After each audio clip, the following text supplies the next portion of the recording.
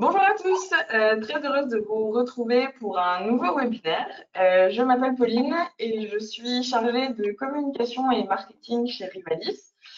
Euh, aujourd'hui, nous allons vous donner des conseils pour passer de l'idée au projet et créer votre entreprise. Donc, malgré la pandémie que nous traversons depuis deux ans, un record a été atteint. Euh, près d'un milliard d'entreprises ont été créées, euh, un million, pardon, d'entreprises ont été créées en 2021. Alors, euh, bah, pourquoi pas vous? Nous allons commencer d'ici quelques minutes.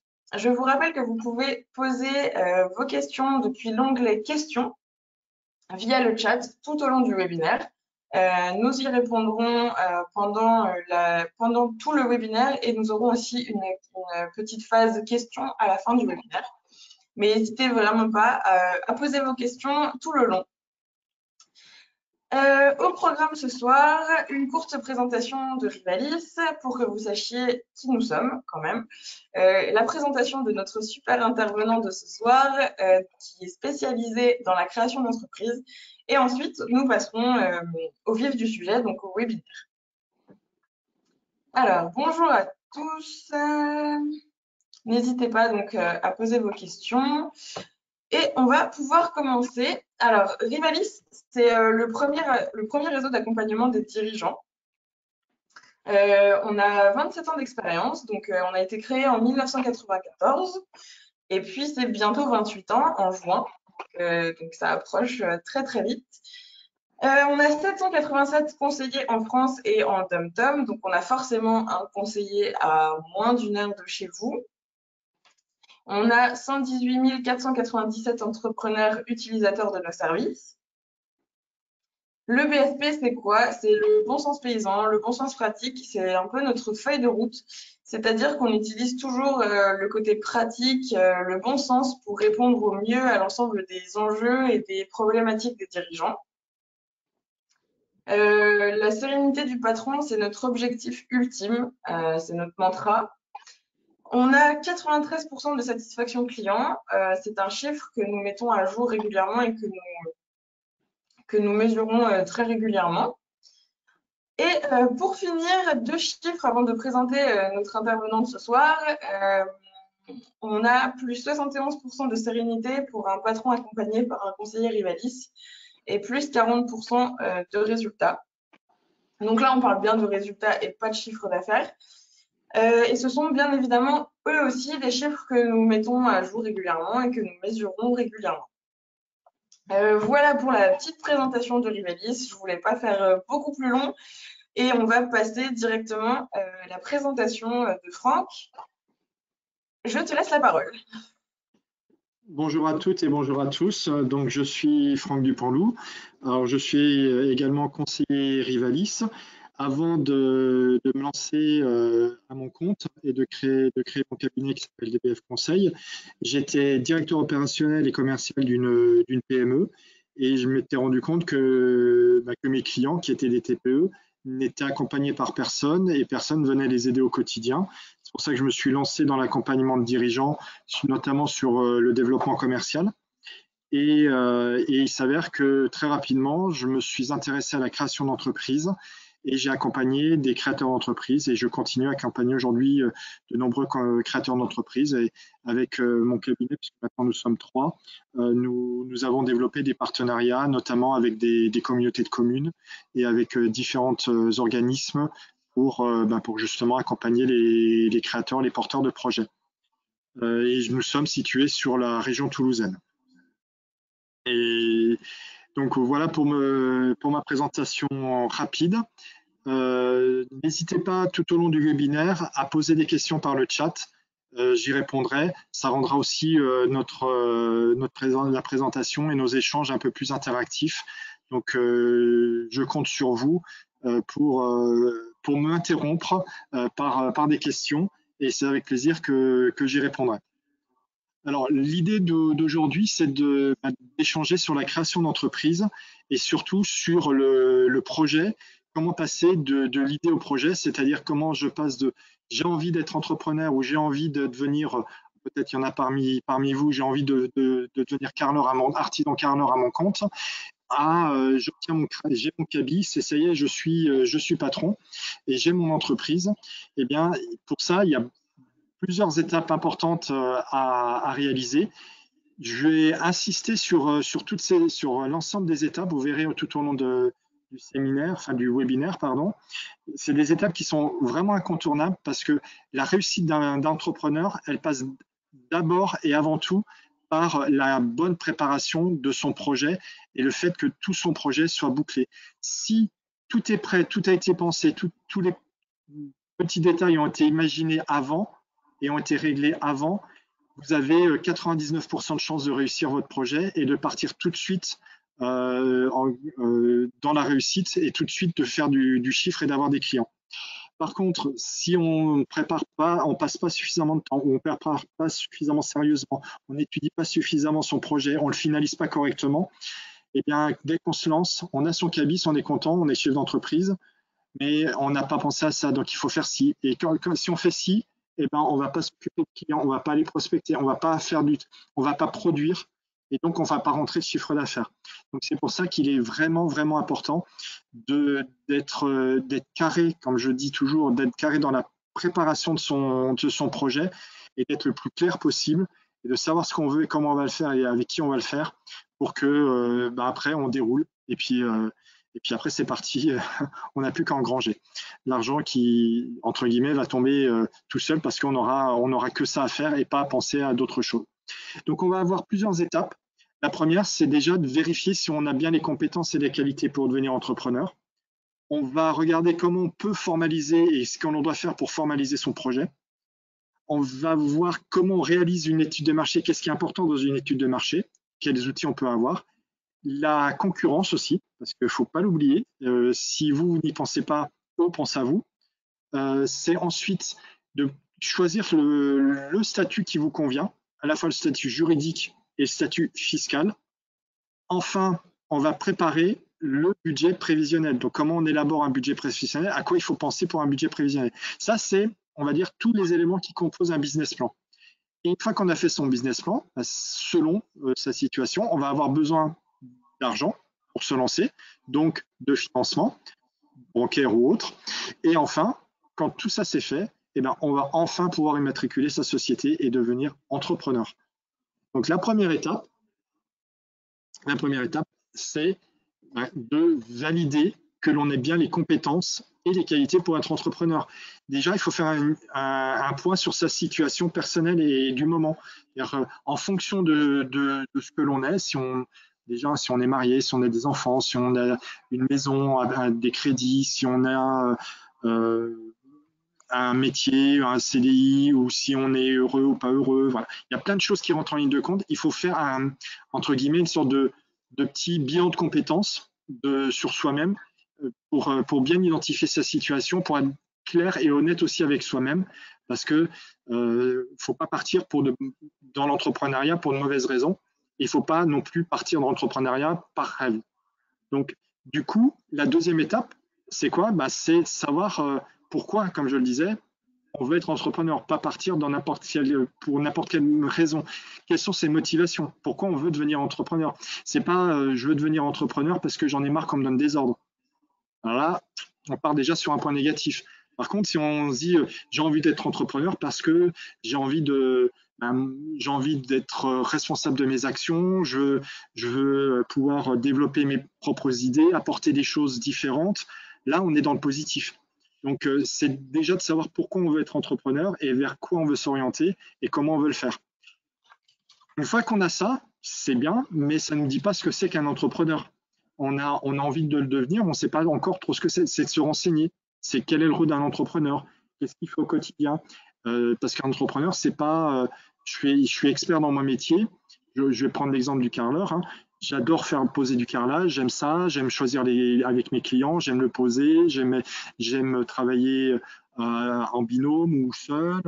Oui, mais à côté, entrepreneur, c'est aussi de la gestion, c'est aussi de faire des devis, c'est aussi de relancer, c'est aussi de faire des factures, c'est aussi de régler des problèmes, c'est plein de choses. Donc, c'est de se renseigner, c'est d'échanger avec euh, d'autres personnes qui sont entrepreneurs, de pouvoir euh, mieux comprendre leur quotidien et pas simplement euh, bah, la passion du métier de base, d'expertise, mais c'est aussi des à côté.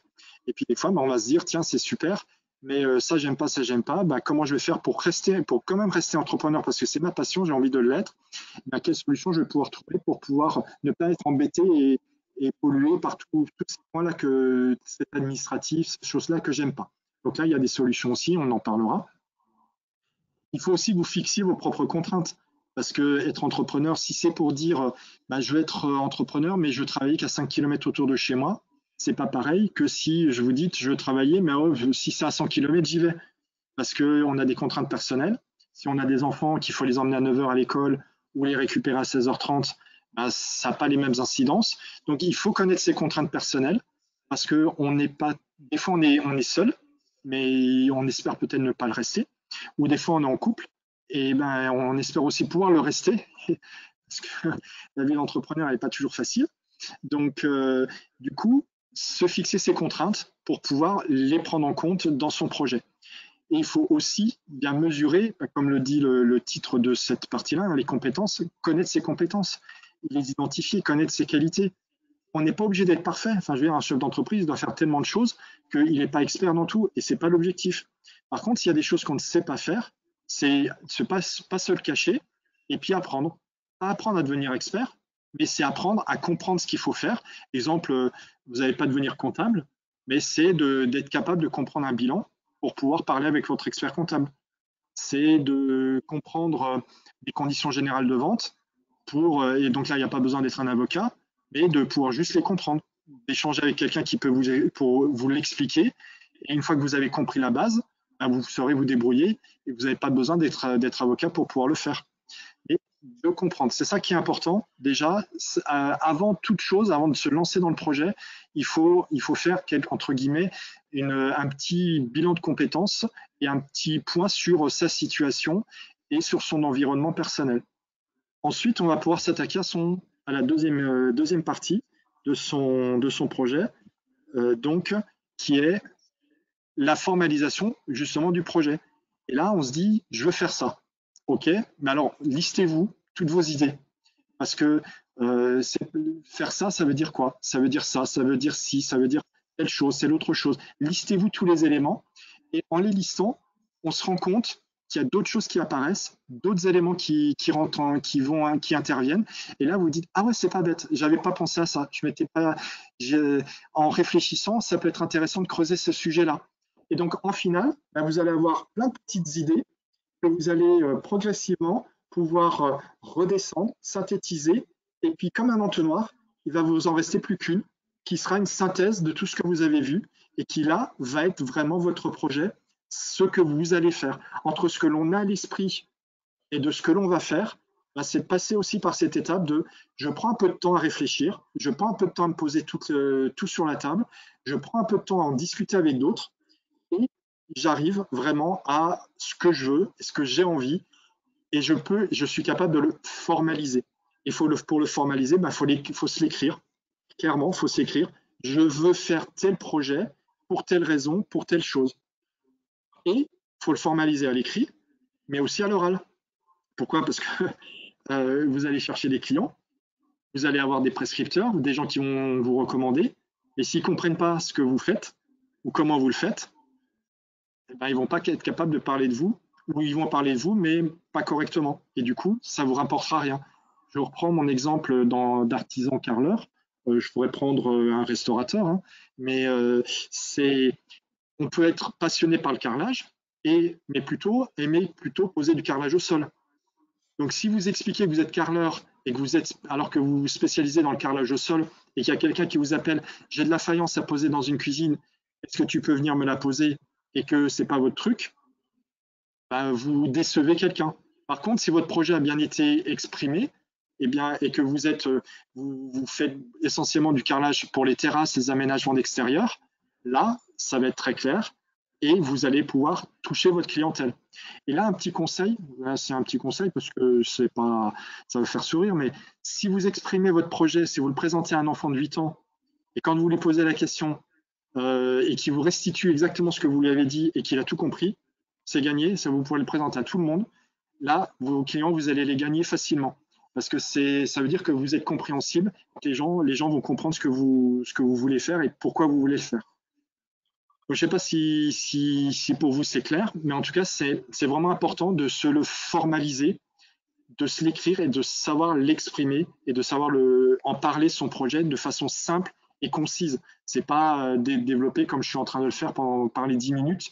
Non, c'est en 1 minute, 30 secondes, être capable de dire ce que vous allez faire et que les gens le comprennent tout de suite.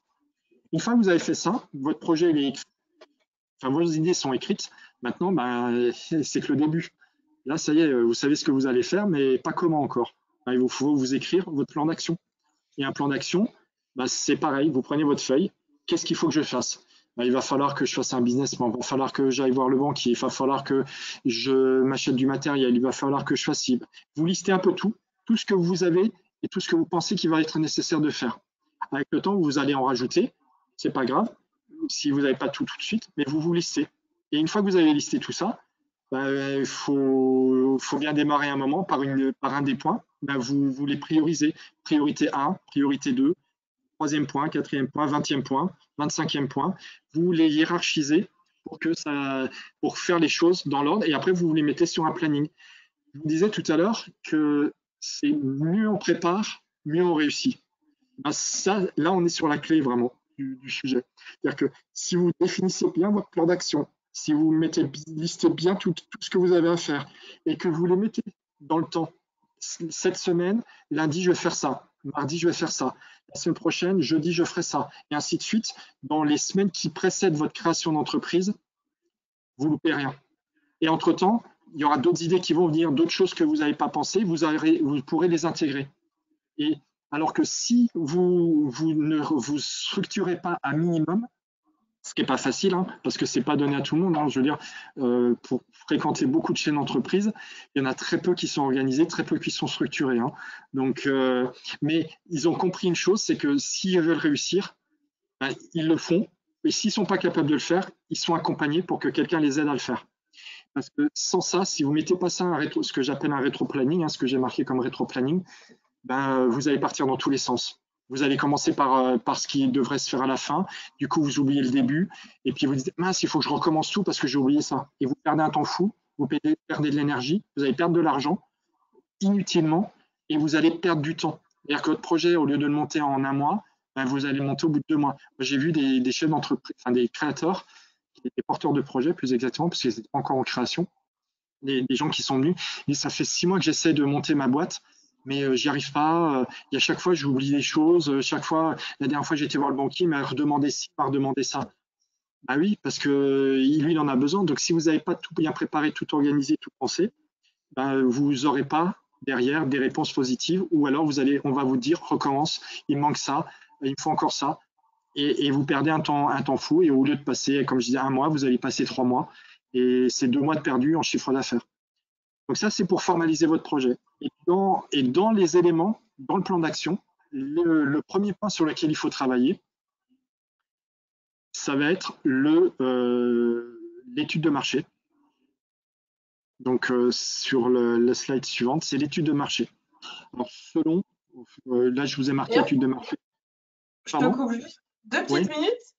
Euh, n'hésitez pas peut-être à nous dire euh, bah, si vous avez un projet d'entreprise, si vous avez une idée, peut-être nous dire un petit peu votre projet, savoir, euh, savoir si vous êtes là parce que vous avez une idée et que vous voulez bah, la, concrétiser. Donc, n'hésitez pas à nous le dire dans le chat pour qu'on sache un petit peu quels sont vos projets et si.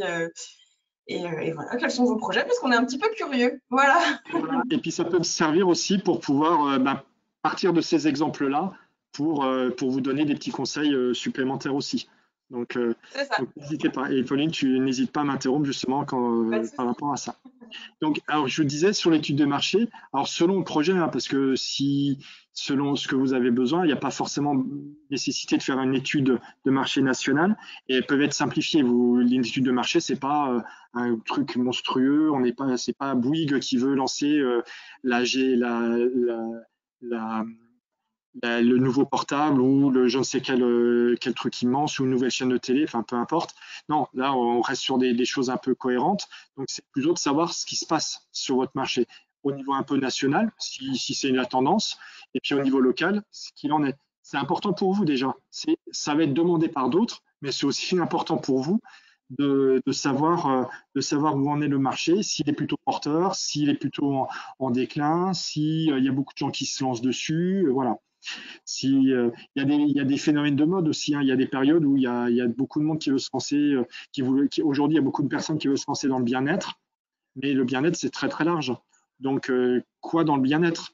Et quel est le marché du bien-être? Est-ce qu'il y a un potentiel? Est-ce que dans ma, ville, il y en a déjà, il y a, des choses à faire? Donc, n'hésitez pas à, regarder des données chiffrées. Et pour ça, vous avez des outils qui existent. Il y a des deux grands organismes en France. On a la chance d'avoir BPI France. BPI France, c'est la banque, euh, c'est une banque d'investissement française qui a fait énormément d'études sur énormément de métiers. Quelqu'un qui veut s'installer comme en institut de beauté, il y a une étude qui a été faite. Quelqu'un qui veut s'installer comme garagiste, il y a une étude qui a été faite. Quelqu'un qui veut ouvrir un food truck, il y a des études qui ont été faites. Donc, renseignez-vous, regardez, ça va vous donner plein d'infos, ça va vous donner plein de conseils, ça va vous aider aussi à mieux construire votre projet. Vous avez l'INSEE, si vous voulez être restaurateur, que vous installez dans une commune de 3000 habitants où en moyenne les gens consomment 10 euros par an de restaurant, ça va être chaud. Par contre, si vous êtes sur une zone de 5000 habitants où en moyenne les gens consomment 200 euros de restauration par an, ah, là vous dites il y a quelque chose à faire et si je suis bon, peut-être qu'on pourra aller un peu plus loin que les 200 euros. Donc, consultez aussi, des, cherchez ce type d'information. Il faut être curieux. En résumé, l'étude de marché, elle est faite non pas pour valider que vous avez un vrai potentiel et qu'il y a un vrai potentiel de marché, c'est surtout pour que c'est pour vous rassurer et pour être curieux il faut être curieux. Et après, vous avez tous les sites. Hein. si vous voulez, euh, selon les métiers, vous avez des champs professionnels. Il ben, faut y aller. Il faut faire des recherches aussi sur Internet. Vous avez plein de blogs qui existent. Vous avez plein d'entrepreneurs qui ont ouvert des blogs et, ou, des chats spécifiques d'entrepreneurs. N'hésitez pas, ben, comme petiteentreprise.net par exemple, hein, puisque certains d'entre vous sont là par cet intermédiaire. Il y a plein de choses qui, sont, existent sur Internet pour vous renseigner et pour vous dire un petit peu où en en est le marché quand vous avez revu un peu quel était votre marché, ce qu'il faut, c'est regarder votre concurrence. Donc, c'est. Euh, on a une petite question qui est tombée sur la concurrence. Alors, on a euh, une personne qui nous dit Bonjour Franck, la concurrence n'est-elle pas un frein pour démarrer? La stratégie de l'océan bleu de Sean Kim et René Mauborgne n'est-elle pas une aubaine pour le début? Oui, alors ça, c'est parce que c'est très tendance. Hein. Blue Ocean, c'est super tendance. Euh, la concurrence, c'est il faut pas le voir comme une contrainte, il faut faut pas avoir peur de sa concurrence. En fait, il faut la connaître. C'est-à-dire que vous pouvez être dans une zone qui vous dites c'est super saturé, il y a, plus de place, y a de place pour personne. Et moi je dis c'est faux, c'est faux, c'est faux si vous faites comme les autres. Par contre, si vous regardez votre concurrence, vous regardez l'offre de service, comment ils travaillent, comment ils sont évalués et notés par leurs clients, comment, euh, comment ils développent leur chiffre d'affaires, et ainsi de suite. Vous regardez et vous vous dites, il fait ça, il fait ça, par contre, il fait pas ça. Il apporte pas ce service-là. Il ne euh, il propose pas ce type de, cette gamme de produits, et ainsi de suite. Eh bien, vous, vous allez vous positionner en différenciant. Et vous, avez, vous allez axer votre communication sur la différence. Et là, vous prenez des parts de marché. Comment, comment font euh, bah, euh, aujourd'hui on, on, se dit il y a certains, certains, certains secteurs d'activité qui sont saturés. Euh, bah non, jamais, c'est jamais saturé. En fait, c'est jamais saturé. Pourquoi? Parce que si on apporte quelque chose d'autre, eh ben, c'est les autres qui vont disparaître et vous serez toujours là. On va prendre dans la distribution. Hein. Il y a, moi, quand j'étais plus jeune, puisque je suis pas, tout jeune, euh, quand j'étais jeune, on, on me disait ah Félix Potin, Félix Potin qui a disparu, parce que déjà ça avait disparu à mon époque. Mais oui, mais Félix Potin, ça a disparu parce que eh ben, ils ne sont pas remis en question, ils n'ont pas regardé leur concurrence, ils ne sont pas intéressés. Et il y en a d'autres qui sont venus, qui ont, regardé ce qu'ils faisaient, ben, ils ont fait mieux ou ils ont fait différent, et puis ils ont pris tout le marché. Et les autres, eh ben, ils sont morts. Ben, la concurrence, c'est intéressant, il faut la connaître et il faut savoir euh, l'exploiter pour pouvoir, euh, pour pouvoir avancer.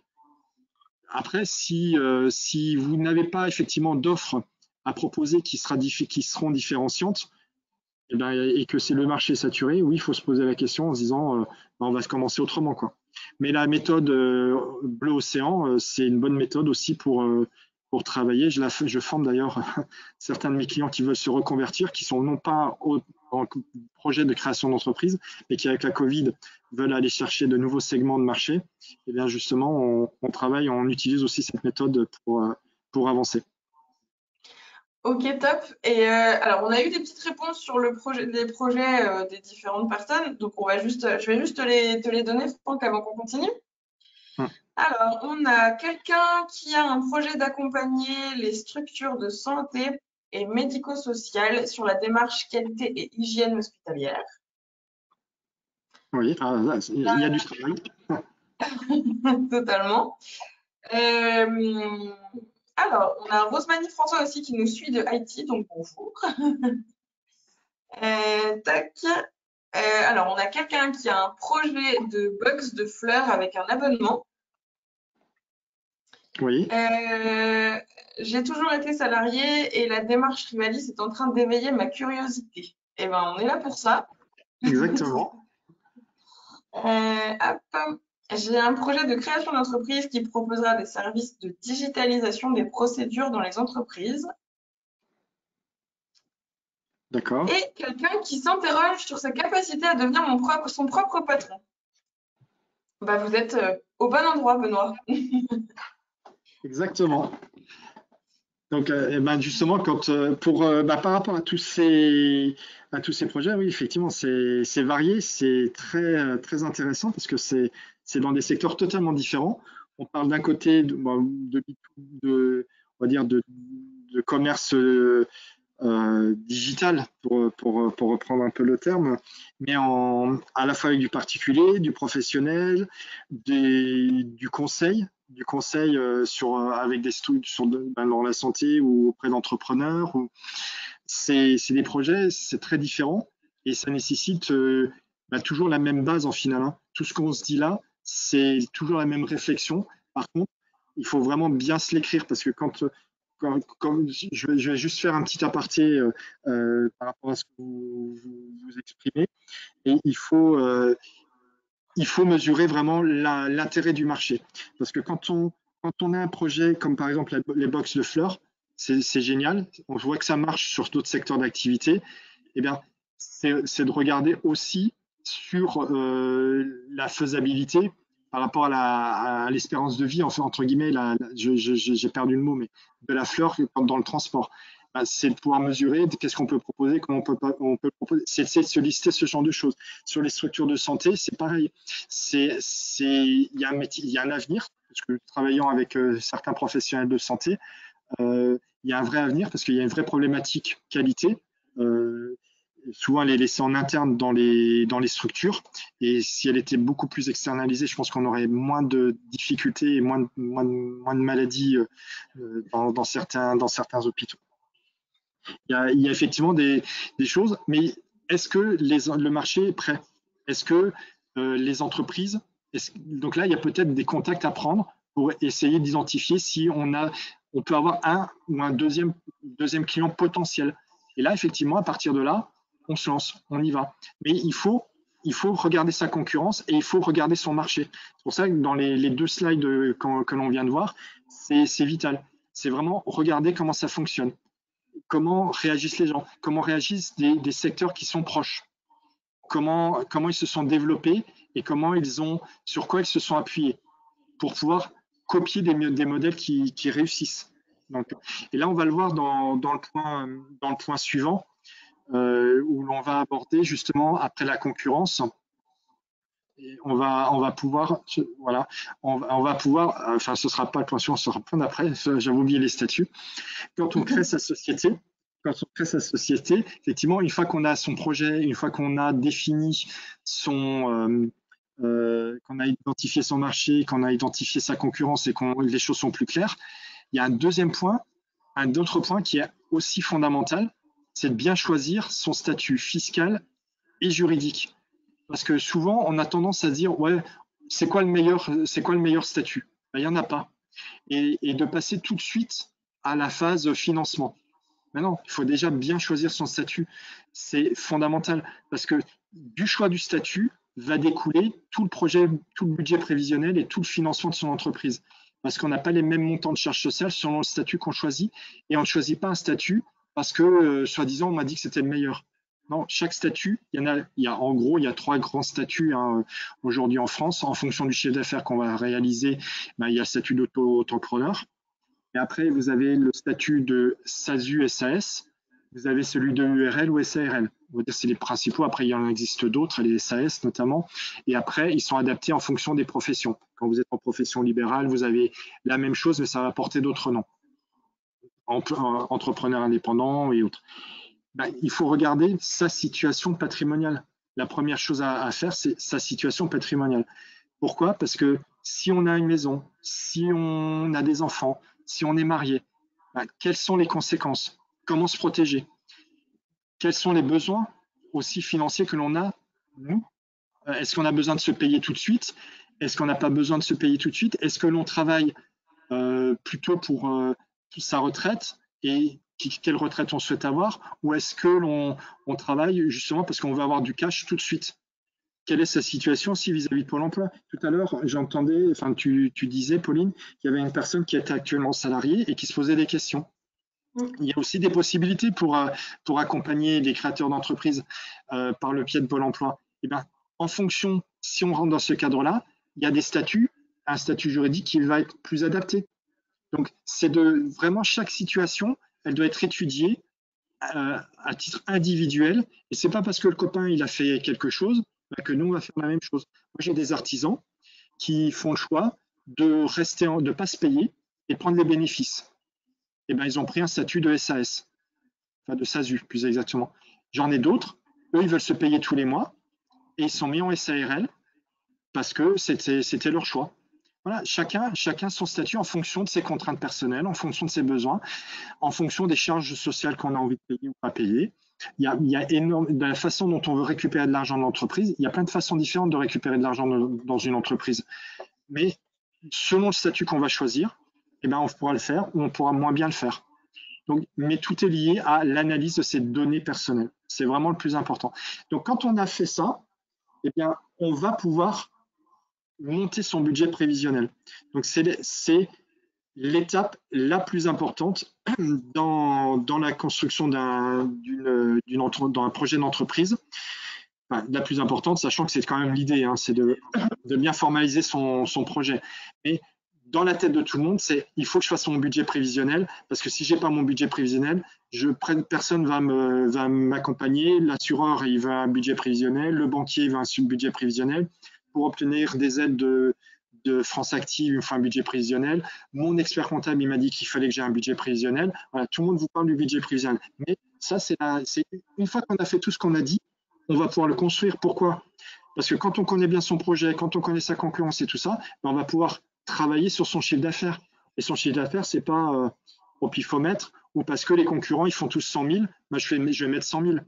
Non, comment fait mon, comment je fais mes 100 000 si je prends un restaurant, un restaurant, bah, euh, pour déterminer le chiffre d'affaires, quand je travaille avec un créateur ou d'un restaurant, c'est combien, combien tu peux faire de services, combien tu as de couverts. Ensuite, quelle est ta carte Donc, quel va être le panier moyen de ta carte Quelle vente complémentaire tu peux proposer Est-ce que es, combien de jours tu es ouvert par, euh, par semaine Combien de semaines par an tu vas être ouvert quand on a additionné et quand on a regardé tous ces éléments-là, on va mixer tout ça et ça va nous donner le chiffre d'affaires. Mais c'est pas euh, pas au pifomètre parce qu'il euh, y en a beaucoup qui disent comme ça. C'est ouais, mais les, autres ils font 100 000, 150 000. Ou j'ai un copain, euh, il a fait il fait il fait 40 000. ouais, mais comment il les fait ces 40 000 Ah ben je sais pas, il les fait. Bon, bah c'est bien, mais c'est plutôt de savoir comment il les fait, parce que s'il fait 40 000 et que 40 000, il arrive à peine à vivre avec, bah, il vaut peut-être mieux en faire 60 et euh, vivre mieux. Et donc, du coup, savoir comment vous allez réussir à en faire 60. Quand on a son chiffre, c'est bien, mais après, euh, qu'est-ce qu'on en fait? Parce que c'est pas le chiffre d'affaires, c'est pas ce que vous allez gagner vous. Donc euh, derrière, il y a toutes les charges. Et donc, c'est de lister toutes les charges. Et là, c'est de se creuser un peu la tête, parce que c'est pas simplement euh, ben, je vais, si je suis restaurateur, bon, ben, faut que j'achète la matière première, j'ai le loyer, et puis je vais payer, je vais avoir euh, deux, trois factures comme ça, parce qu'il va falloir que je paye l'électricité, tout ça, et puis un peu de frais de personnel. Ouais. Alors combien en frais de personnel, combien en, investissement, combien en, il, faut, il faut le chiffrer. Les assurances, ça va être combien? As demandé à un assureur euh, combien il prenait en responsabilité civile? Ah oui, j'ai pas pensé à la responsabilité civile. J'ai pensé à faire assurer, à lui demander pour assurer le restaurant, mais j'ai pas pensé à la responsabilité civile. Tu as pensé euh, que si jamais tu étais malade, comme tu es entrepreneur, tu n'auras pas de rémunération à prendre une prévoyance. Ah non, j'ai pas pensé, mais ça va me coûter un peu d'argent. Oui, mais si tu es malade, si tu as un accident de, tu fais de la moto, tu te casses une, jambe, pendant trois, mois, tu peux pas, peux pas bosser, ça va être chaud, euh, trois mois sans en, gagnant zéro. Parce qu'entrepreneur, tu n'as pas de chômage, tu n'as pas d'indemnité, tu rien. C'est juste ce que tu cotises. C'est pas comme quand tu es salarié. Ah oui, ben, il faut que j'y pense. Donc, c'est d'essayer d'imaginer toutes les charges qu'il peut y avoir. C'est quand on est pour, pour les investissements aussi, c'est ben, de, de, se lister tout. Des fois, il faut faire des choix, oui. Mais d'abord, on se liste tout, on regarde si ça passe. Parce que c'est pas euh, six mois après, on se dit euh, ben, les frigos que j'ai pris euh, dans mon restaurant, ben, ils sont pas adaptés, c'est trop petit, et il faut que j'en rachète un autre, mais le banquier ne veut pas me prêter de l'argent. Ça, c'était un client il y a deux mois, quand il a rouvert là, plus de deux mois, qui est venu me voir en me disant voilà, avant le Covid, je faisais tant de couverts. Puis ben, on a réussi à, gagner des groupes le midi et j'ai plus assez de place dans mon et le banquier veut pas me prêter de l'argent. Bah oui, parce que tu n'as pas assez de recul sur ton activité. Le banquier, il ne sait pas, donc il ne va, pas te, il va pas te faire une rallonge de ton prêt. Donc, euh, anticipons, préparons tout. Et, s'il faut faire un choix, on fera un choix. Mais au moins de se donner l'idée de tout ce qu'il y a, de tout ce qu'il y a à faire au départ. Il faut aussi penser à, des fois, on a des frais de création d'entreprise. On en parlera tout à la fin quand on parlera du greffe, mais il faut les prendre en compte. je fais une petite aparté. Sachez que vous avez aussi possibilité de faire financer par le biais de la formation, si vous faites accompagner, mais sous la, et si vous faites former, pardon, pas accompagner, si vous faites former pour la création d'entreprise et que vous avez du CPF, vous avez possibilité d'utiliser votre CPF. Au lieu de, au lieu de, de, de faire par vous-même, apprenez à faire et apprenez à faire avec en utilisant les fonds qui sont qui, que vous avez sur votre CPF. Ça, c'est une petite aparté. En fait, après, vous avez dans les autres charges et frais de personnel, et là, euh, oui, oui, non, mais je vais prendre quelqu'un, je vais le payer au SMIC. Regardez le prix du marché. Si le prix du marché, c'est 2000 euros, ben, vous ne pourrez pas le mettre à 1600 euros. Donc, prenez en compte ça, parce que si demain, vous trouvez quelqu'un et vous êtes obligé de le payer 2000 ou 2600, ben vous allez voir, c'est tous les mois, c'est 400 euros. C'est pas que 400, c'est 800, parce qu'avec les charges patronales, sociales et machin, ben vous allez, euh, c'est 800, et les 800, c'est vous qui les toucherez pas. Ou alors, il faut aller chercher euh, des clients en plus pour gagner les 800 en plus. Il y a des taxes aussi. Vous êtes en région parisienne, euh, il y a des taxes sur les, sur les bureaux.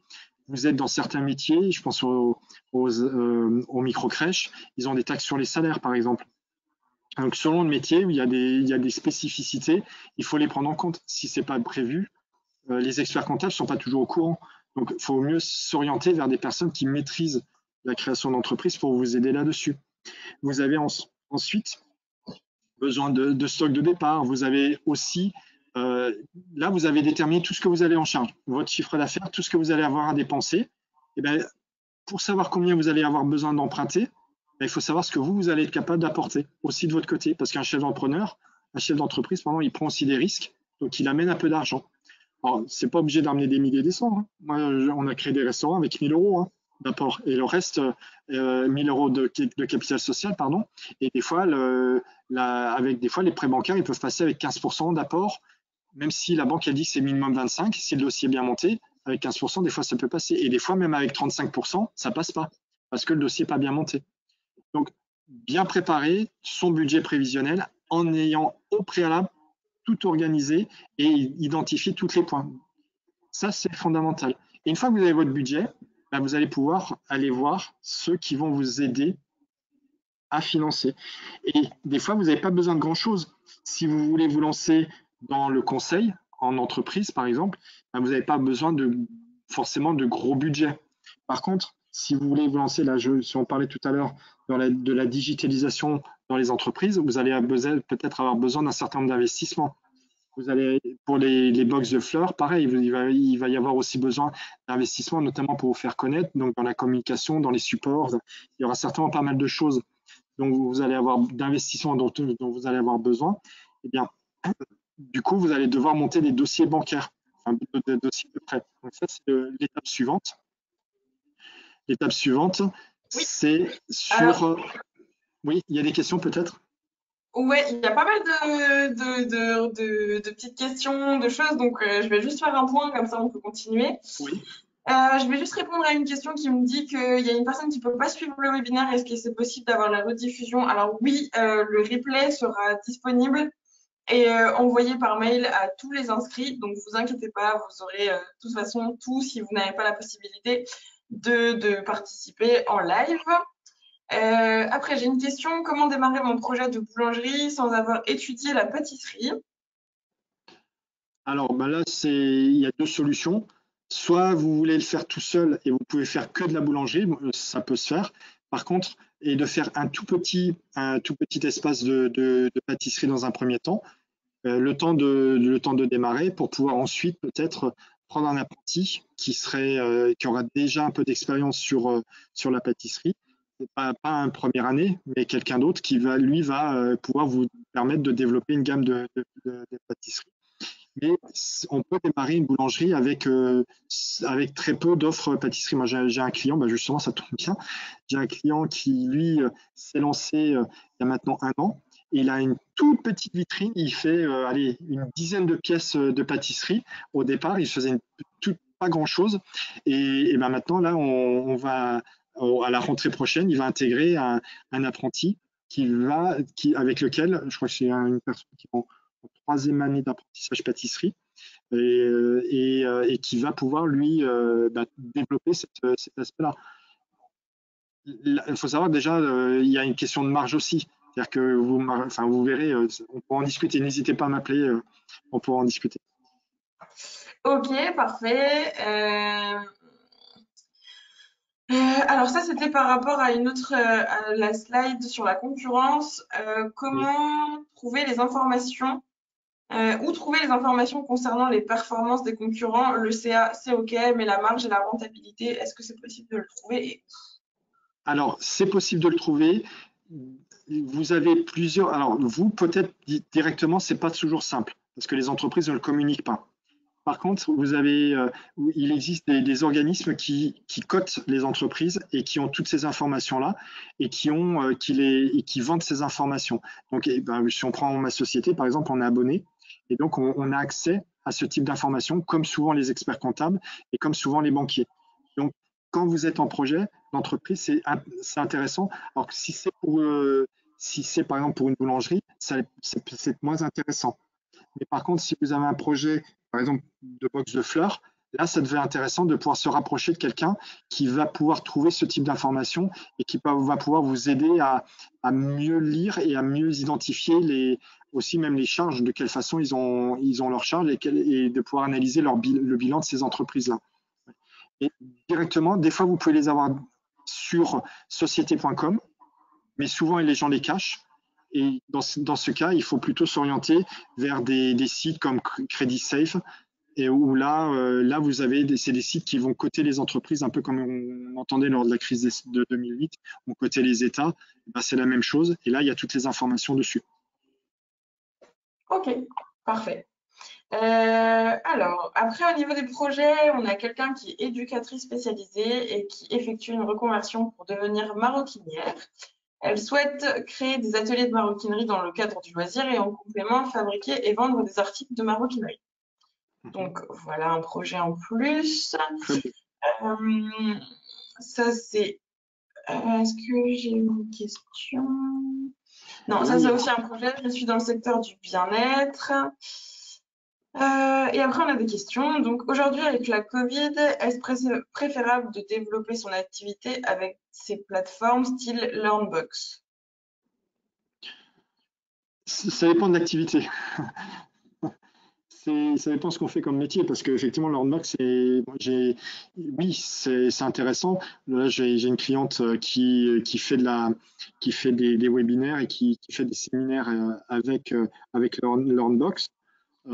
et ça lui ramène aussi de la clientèle. Donc oui, mais tout dépend de l'activité, de ce que l'on veut faire, de ce qu'on veut proposer. Il faut à chaque fois utiliser le bon, le bon outil parce que vous payez des abonnements, alors, des fois, c'est gratuit, ça semble intéressant, mais en fait, vous n'avez pas grand-chose et ça ne rapporte rien. Par contre, quand vous prenez certains abonnements, vous allez tout de suite, ça va, ça va chiffrer. Et, euh, et là, oui, c'est, ça peut être très rentable. Euh, la, personne dont je, parle, elle est, thérapeute et euh, du coup, elle, elle, travaille avec des clients sur toute la France.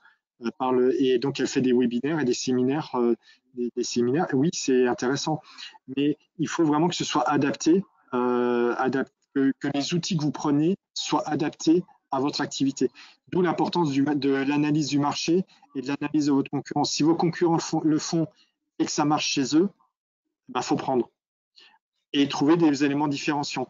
S'ils le font et que ça rapporte rien, laissez tomber, ou rapporte pas grand chose, laissez tomber. Mais c'est l'importance de l'étude de, la concurrence. La première chose que je fais avec mes clients, euh, c'est euh, on regarde ce que font les autres. Et quand on a bien étudié ce que faisaient les autres, eh ben, on prend ce qui va bien et puis on corrige ce qui va mal. Et généralement, ça marche. Hein. Il n'y a pas de secret. Hein. Il n'y a pas de secret, c'est comme dans la vie. Hein. Quand on vous dit, euh, ouais, on a marre que tu fasses ci, ça, ça, bah, si on veut plus qu'on en ait marre qu'on fasse ci, ça, ça, on, fait plus, on se corrige. Et puis, comme par hasard, on ne nous reproche plus. Quoi. Bah, c'est pareil. Ok, parfait. Euh, on a une autre question de Muriel qui demande comment chiffrer un service.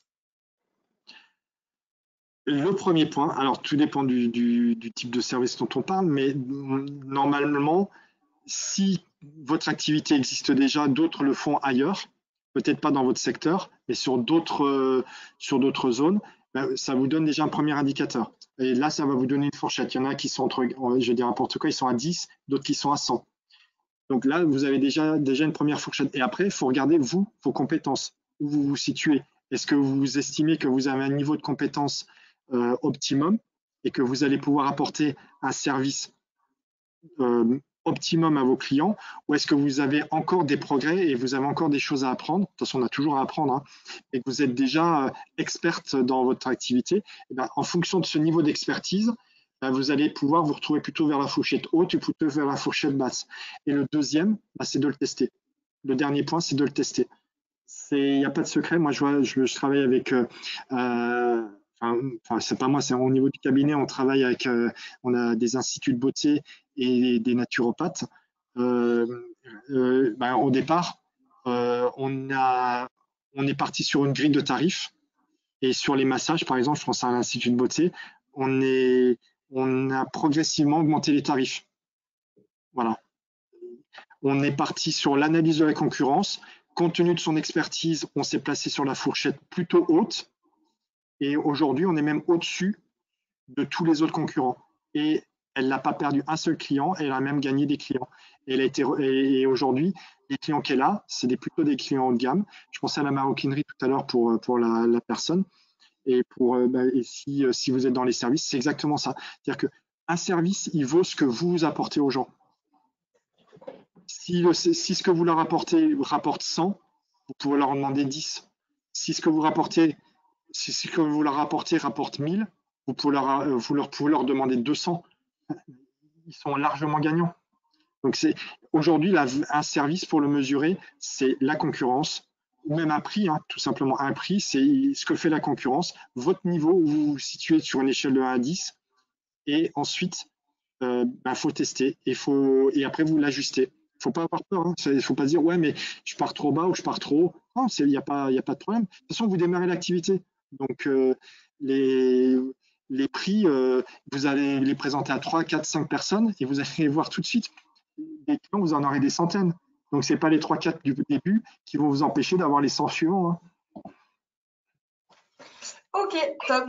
Euh, on a encore deux, trois questions. Est-ce que tu préfères qu'on en parle maintenant ou on va à l'onglet Le point suivant, c'était sur la ça dépend sur les thèmes, si c'est lié à des choses qu'on a déjà évoquées ou pas encore évoquées. Parce qu'après, on, a quasiment fini, on a, on, a, on a pratiquement fini.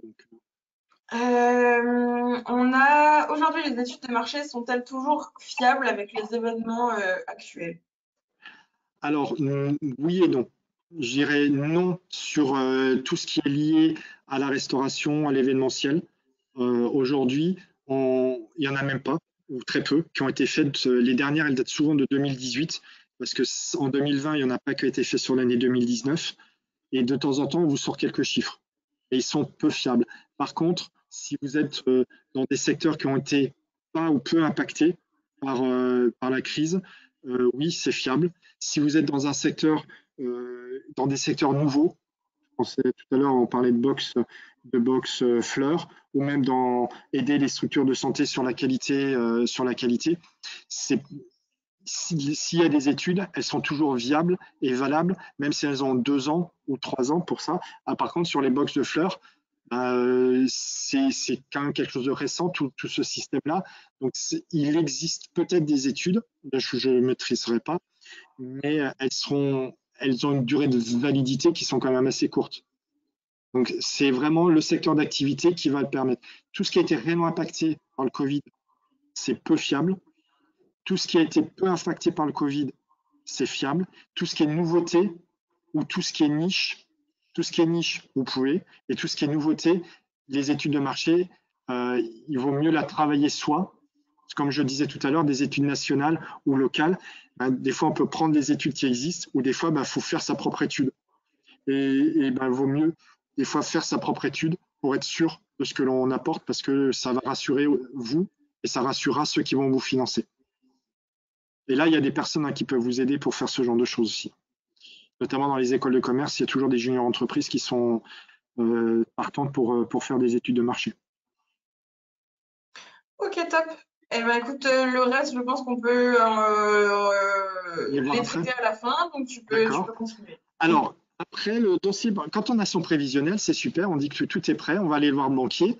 Mais avant d'aller, mais, mais, le banquier, lui, ce qu'il ce qu'il veut, c'est pas qu'un seul dossier prêt. Lui, il finance pas que l'idée, que le projet, il finance un homme ou une femme. Il finance un groupe de personnes. Il finance un porteur de projet.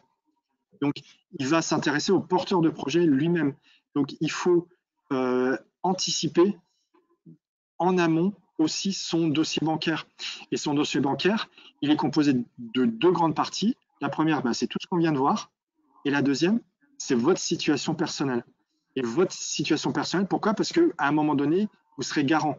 Alors que ce soit une banque ou euh, un organisme de prêt, hein, vous avez euh, le réseau Initiative, vous avez Réseau Entreprendre, vous avez France Active, l'ADI, si vous êtes dans le secteur d'agriculture, euh, il, y a aussi d'autres organismes qui vont aider les créateurs et les porteurs de projets. Mais tous, ils vont regarder qui vous êtes et comment vous gérez vos comptes déjà personnels. Donc, anticipez-le en, vous faisant aider de quelqu'un qui va regarder comment est votre situation financière. Parce que si vous allez voir un banquier avec la meilleure idée du monde, la meilleure, et que votre compte est à découvert tous les mois, et que euh, vous avez 300 euh, cartes bleues de 5 euros qui passent sous, euh, dans le mois, là, le banquier va dire Waouh, j'ai peur. Déjà, il ne sait pas gérer son argent. Et en plus, il dépense dans tous les sens. Alors, vous allez oui, ouais, mais c'est 300 de cartes bleues de 5 euros. Ça fait que 1500, j'en gagne 3000. Ouais, ça, ça fait 300 cartes bleues. Donc, ça veut dire que vous êtes capable d'aller faire 300 fois des achats. Donc, demain, vous êtes en entreprise, comment vous allez faire? C'est plein, plein, de choses qui doivent se travailler en amont, parce que j'ai vu des dossiers reportés ou refusés par les banques, alors que là, les gens avaient de l'apport, avaient de l'apport, mais les banques n'avaient pas confiance dans le porteur de projet. Donc euh, ça, c'est important, c'est vraiment de, structurer et de regarder comment on, gère ses, propres fonds pour rassurer le banquier. Deuxième point important pour rassurer le banquier, c'est de maîtriser sur le bout des doigts son projet et surtout toutes les faiblesses de son projet. Parce que lui, il va aller voir les faiblesses du projet. Il ne faut pas se dire non, mais je vais essayer de cacher ça, je vais essayer de cacher ça. Il y a des mecs qui sont payés pour ça dans les banques. Hein. Donc, euh, et, pas que dans les banques. Hein. Quand vous vous présentez devant un jury euh, pour, pour des prêts d'honneur, vous avez un expert comptable, un avocat, un, assureur, un conseiller en machin, un, chef d'entreprise. Eux, ils ont l'habitude, hein. ils font que quand ils sont là, ils ont l'habitude de traiter des dossiers. Donc, ils voient les points faibles. Ils mettent le doigt dessus. Et donc, c'est pas la peine de chercher à le cacher, parce que vous n'y arriverez pas. Par contre, c'est d'avoir la réponse. Et c'est de rassurer. oui, je l'ai identifié, ce point faible, et je vais mettre telle et telle action correctrice en place. C'est ça qui est important. C'est ce qu'il faut que vous, euh, vous travaillez, c'est-à-dire votre situation personnelle et les faiblesses de votre dossier, que vous les maîtrisiez pour pouvoir rassurer. Et une fois que vous avez maîtrisé votre dossier, il n'y a pas de raison qu'on vous refuse de vous aider, soit un prêt d'honneur, soit un prêt bancaire, soit par le crowdfunding ou je ne sais quelle autre source de financement. Ça se fait. Ça se fait. Et après, les gens vont vous demander des, des contreparties. Certains vont dire, je vais prendre un peu d'argent, je vais rentrer dans le capital de sa société. D'autres vont dire, euh, je vais te prêter, mais à tel taux. D'autres vont dire, je te prête un peu, mais tu vas être garant sur une partie. Peu importe. Après, ça, c'est vous qui décidez et c'est vous qui le négociez avec la personne en face. Mais maîtrisez votre projet.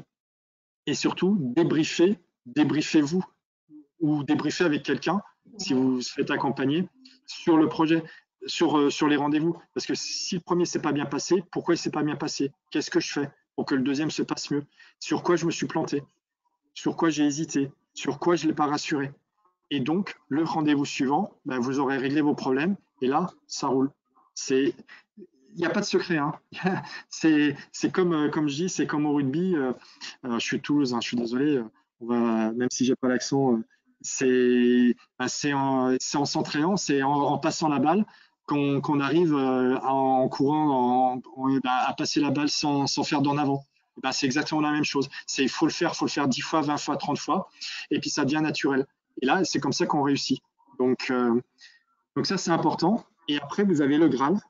C'est l'étape d'après. Alors là, le Graal, c'est le calice. Alors là, vous dites, ça y est, super, je vais m'inscrire au greffe. Oui, mais alors, c'est pas si simple, c'est la France. Hein.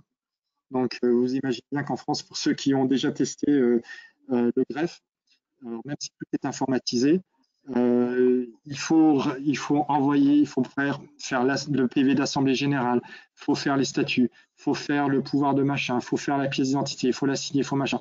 Oui, mais ça ne suffit pas. C'est que si vous faites une Assemblée générale en mettant telle date et que vos statuts, vous avez signé en mettant une autre date, eh ben, la personne, elle va, elle va se rendre compte que ça coïncide pas, ou la date est avant ou après, peu importe, hein, il y a 36 000 raisons qu'elle, votre dossier, ben, au lieu d'avoir votre cabis en 48 heures, ben, elle va vous retoquer votre dossier, il va falloir remodifier, refaire, vous perdez du temps et vous perdez de l'argent parce que forcément, chaque fois que votre dossier, vous allez le renvoyer, il y a une petite taxe en plus à payer. Donc, toujours la même chose, hein, c'est on prend son temps, on relit, on s'organise, on structure et surtout quand euh, quand on remplit son dossier au greffe, parce qu'il y a plein de questions, il y a plein de questions, on essaye, si on ne maîtrise pas, si on n'est pas si on s'y connaît pas à minima en, fiscalité ou en, juridique, on se fait accompagner. Parce que euh, il y a plein de questions où euh, ah mais qu'est-ce que je réponds? Ça marquait IS ou IR. Ça veut dire quoi? Euh, Il faut choisir. Ah, je, doute, je ne me souviens plus. Qu'est-ce qu'on m'avait dit? N'hésitez pas à vous faire accompagner. Et, et si vous faites vous-même, Prenez le temps. Prenez le temps. Regardez, renseignez-vous, consultez. Et faites les choses telles qu'elles doivent être et vérifiez, contrôlez. Parce que sinon, vous perdez du. C'est encore la même chose. Au lieu d'y passer une journée, ben, vous allez passer trois jours, trois jours pleins à tout refaire, parce qu'il faudra tout refaire, tout reprendre. Et va vous envoyer un courrier qui fait deux pages en vous disant ça, ça va pas, ça, ça va pas, ça, ça va pas. Oui, mais le, greffe va vous dire ça, ça va pas, mais il vous dit pas ce qu'il faut faire. Ça va pas Oui, mais je fais quoi? Et donc là, euh, oui, je fais quoi? Je vais téléphoner un tel, un tel, un tel. Donc faites tout bien en avant, préparez bien vos documents, contrôlez, et ça sera bien. Et il y a un point super important, il ne faut pas se faire arnaquer, c'est sur les parutions au journal officiel. Parce que soit vous la payez, euh, alors je veux dire 80 euros, soit vous la payez 400 euh, euros. Donc il y a, beaucoup d'arnaques dans ce domaine-là. moi, j'ai, après, vous avez des personnes qui ont des abonnements, bah, utilisez, passez par eux et passez pas par le greffe, parce que le greffe vous le propose. Alors là, c'est 250 euros la, parution. C'est sûr, c'est rentable hein, pour le greffe et pour, euh, pour le journal. Hein. Mais la même parution, vous allez la payer 70 ou 80 euros euh, si vous le faites par vous-même auprès de certains sites. Donc, euh, importance de se renseigner, de regarder ce que vous faites. Une inscription, si vous la faites vous-même, pour la création d'une entreprise, après ça va dépendre du texte parce que euh, l'apparition journal officiel, elle va, vous payez à la ligne, hein, mais il faut compter entre les taxes de greffe et l'apparition journal officiel, on va dire 150, 200 euros. c'est le tarif. Si vous faites accompagner, généralement, euh, la personne va vous prendre 200 ou 300 euros de frais supplémentaires. Euh, par contre, elle aura c'est elle qui va faire les statuts, c'est elle qui va vous, rédiger les frais l'Assemblée générale, qui veillera à ce que tout soit carré. Et, est-ce que le surcoût vaut la peine? Si vous ne maîtrisez pas, vous peut-être mieux passer par là. Si vous maîtrisez ou si vous, ou si vous avez le temps de le faire, faites-le et économisez cette somme. Mais c'est vraiment important d'être carré parce que les greffes, euh, je ne vais pas dire à la virgule près, mais quasi, ils relisent tout. Donc si, euh, si vous ne mettez pas dans les statuts le nom de la banque, c'est retoqué. Si vous faites une erreur, par exemple, vous mettez 1500 euros de capital en chiffres et en lettres, vous marquez 1000, 1400. Je sais pas, pour, vous avez fait une erreur de, de, de frappe. C'est retoqué. Donc c'est si vous vous trompez dans, votre si vous oubliez de mettre votre adresse ou si vous ils, ils, épluchent c'est leur boulot parce que c'est la carte d'identité votre de le cabis c'est la carte d'identité de votre entreprise. C'est comme votre pièce d'identité ou votre passeport. C'est il y a tout il y a tout dans avec votre cabis donc c'est vraiment important de donc du coup ils sont extrêmement vigilants. Voilà. Et moi ça se passe très bien hein mais c'est, euh, je préfère être en, vous alerter et vous, et vous dire euh, soyez vigilants. Voilà pour, ben, pour le porteur de projet. moi, je vous encourage, hein, je suis vraiment un passionné de la création d'entreprise et, et j'encourage vraiment tout le monde à se lancer dans l'entrepreneuriat. Tout le monde peut réussir. C'est simple, tout le monde peut réussir. Il n'y a pas, il a pas, je suis, j'ai pas fait d'études ou, ou je sais pas, je connais pas. Non, tout le monde peut réussir. Même des choses dans des secteurs d'activité qu'on maîtrise. La, dame tout à l'heure, on parlait de maroquinerie, alors que c'est pas son secteur d'activité, c'est sa passion, je pense. Tout le monde peut réussir. La seule chose, c'est qu'il faut avoir bien préparé ses affaires en amont, bien structuré son, son projet, être sûr de là où on va, d'avoir bien construit son offre, d'avoir bien construit son budget, et après ça, on n'a plus qu'à dérouler et on est dans la passion et on fait ce qu'on aime. Et c'est un entrepreneur, c'est un passionné. Donc euh, il faut qu'il ne passe son temps qu'à faire ce qu'il aime. il trouve quelqu'un pour l'aider. Mais euh, il faut qu'il soit dans sa passion. Et si, si dès le départ, il n'a pas structuré son affaire, eh ben, il va être pollué par plein de choses. Ok, bah, merci beaucoup. Et euh, alors du coup, bah, merci Franck pour ton temps, tes précieux conseils. N'oubliez pas que euh, vous n'êtes pas seul. Euh, n'ayez pas peur de vous faire accompagner dans votre création d'entreprise. Euh, c'est un point essentiel pour réussir, pour être entouré, d'être entouré. c'est vrai que bah, voilà, c'est hyper important. nous, notre but, comme le disait Franck, c'est vraiment d'essayer de préserver la passion de l'entrepreneur et qui vraiment qu'elle que ne s'éteigne pas, parce que c'est vrai que ben, quand on se lance, c'est un peu compliqué. Il y a beaucoup de choses à faire, beaucoup de. Enfin, il y a énormément de choses à faire et on perd un petit peu ben, le, le métier principal. Et c'est vrai que ben, en se faisant accompagner, euh, on peut être beaucoup plus focalisé sur son activité principale et sur euh, ben, tout ce qui est euh, passion. Et, et, du coup, voilà, notre métier, c'est vraiment de, de préserver la passion. un conseiller proche de chez vous, on va vous recontacter gratuitement dans les prochains jours que vous puissiez échanger avec lui sur votre situation, sur, euh, sur votre projet à vous. Euh, donc, n'hésitez vraiment pas euh, à lui poser les questions les, les, plus importantes et, toutes, toutes, les questions que vous avez, posez-lui. et puis, bien sûr, bah, vous avez le contact de Franck si jamais vous avez des questions. Il est prêt à vous répondre. Euh, voilà, donc là, euh, on va passer encore aux questions. Est-ce que vous avez encore des petites questions? Moi, j'ai vu, alors, on a encore des petites choses. Euh, je m'oriente plutôt vers une reprise vers une reprise d'entreprise. Où se renseigner pour connaître les offres et quels critères principaux regarder pour savoir si c'est une bonne affaire ou non alors là, vous avez des, entreprises qui sont spécialisées dans la, transmission ou la, vente d'entreprise, mais souvent, il vaut mieux s'orienter plutôt vers la chambre de commerce euh, ou si c'est dans l'artisanat, vers la chambre des métiers qui peut vous aider, enfin qui peuvent vous, vous donner des informations. Après, est-ce que ce sont elles qui seront plus à même de vous accompagner? Ils ont des personnes qui le font. Euh, ça peut être une solution. Vous avez après d'autres entreprises qui, dont c'est le métier aussi de, bah, comme les créateurs d'entreprise, la création, la reprise d'entreprise, c'est la même chose. Hein. Euh, et qu'est-ce qu'il faut regarder? La première chose, c'est récupérer les bilans, récupérer les fiches de paye. C'est fondamental, il faut l'analyser, mais dans le détail. Et ça, quand on maîtrise pas, il bah, faut se faire accompagner pour, pour, euh, pour savoir lire un bilan et analyser les fiches de paye. C'est le livre, le livre du personnel, parce que c'est pas le tout, on vous donne les fiches de paye, mais s'il y a des gens qui sont plus payés dans la société, mais qui sont toujours officiellement salariés de la société, bah, le jour où vous rachetez, il vous, dit Ah, je suis là, je suis encore dans l'effectif, euh, je veux me faire licencier. Ah, ben oui, mais on m'a pas dit que vous existiez. On m'a pas donné votre fiche de paie. Ben oui, parce que je suis en arrêt euh, depuis euh, depuis trois ans, mais ben vous allez me payer 15 000, 20 000 euros. Ça, c'est je dis ça parce que j'ai, c'est pas par hasard. donc c'est ça, c'était dans mon ancienne vie. Hein. On avait racheté une entreprise, on n'avait pas fait gaffe. Mais il y a ça. Il faut aussi analyser le portefeuille client analyser, faut faire un, en fait, il faut faire un audit complet de l'entreprise avec l'analyse du matériel, l'analyse de tous les outils qui sont les outils de communication, le, les, il y, a, un audit, c'est important de faire un audit, de passer du temps pour, quelle que soit la taille de l'entreprise, hein. même si c'est vous voulez racheter une boulangerie, il faut faire un audit de la boulangerie, il faut analyser son portefeuille client, la typologie de ses clients, analyser euh, la gamme, les, euh, analyser euh, les, prix, le panier moyen, enfin il y a plein, il y a plein de choses. Selon le métier, il y, a des, il y a des choses différentes à regarder. Et le prix de l'entreprise, il est déterminé pas. Souvent on dit le chiffre d'affaires, la marge. Non, c'est pas ça. C'est pas comme ça qu'on détermine un prix d'entreprise. Il faut prendre en compte tout dans le prix d'entreprise parce que tout se négocie.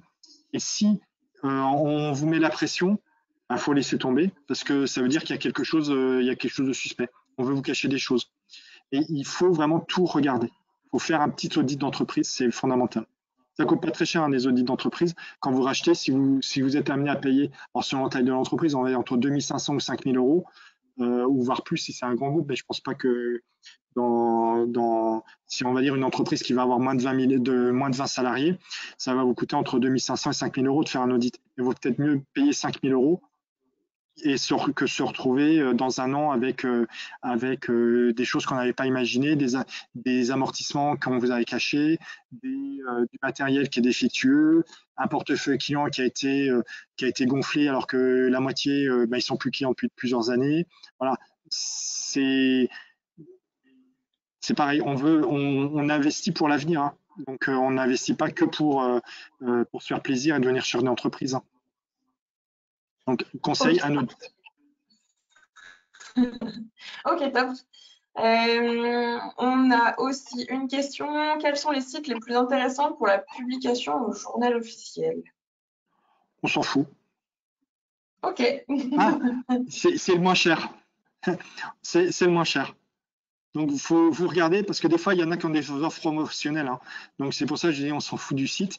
Enfin, c'est pas le site qui, il n'y a pas un site qui est mieux qu'un autre. C'est parce que euh, il y a des sites qui parfois font une offre moins 40%, bah, vous prenez. Et puis, des, fois, il y en a qui vont être à moins 25% et c'est plus intéressant que les moins 40, vous prenez. En fait, il faut, il faut, au moment où vous le faites, il faut regarder. Voilà. Il n'y a pas, a pas un site qui est meilleur que l'autre. Alors, moi, j'ai un contrat avec une société parce que c'est comme on fait du volume mais euh, quand on le fait par soi-même, il faut regarder. Voilà. Faut, faut regarder, il y en a quatre ou cinq, euh, et vous, les, et vous, et vous faites des devis sur les quatre ou cinq, et vous, et vous prenez celui qui est le mieux. Ok, top. Merci encore pour ta réponse. Euh, on a une dernière question. quelle est la différence entre le business model et le business plan? Ah, bonne question. après, chacun l'appelle comme, comme on veut. La partie du le business model, c'est, moi je le considère le business model, c'est tout sauf le, la partie prévisionnelle et le business plan, ça inclut la partie prévisionnelle. Voilà. Business model, c'est euh, le projet, l'étude de marché, la concurrence, euh, ce que l'on va mettre en place. Voilà, c'est business model. Maintenant, et tout ce qu'on va créer, tout ce qu'on l'offre produit qu'on a, machin, tout ça. Et la partie prévisionnelle se rajoute et ça fait un business plan. Ok, Ça marche. Eh ben, je crois que pour, on n'a plus de questions. Donc, euh, ben, s'il n'y a plus de questions, on va pouvoir s'arrêter là pour ce soir. On a un petit peu dépassé, mais bon, c'est pas grave. On a plein de choses à dire. Euh, alors, retrouvez-nous, vous pouvez nous retrouver sur les réseaux sociaux pour euh, bah, des conseils, des tutos, de l'actu, des témoignages, etc. Et surtout pour être informé des prochains webinaires parce qu'on en a euh, plusieurs fois, on en a deux par mois normalement, et, euh, ça, on parle de, plein de sujets d'actualité de sujets euh, ben, sur la création d'entreprise, etc. Donc vraiment, n'hésitez pas à nous suivre pour être informé de toute notre actualité. Nous sommes présents sur Facebook, LinkedIn, Instagram, Twitter et YouTube.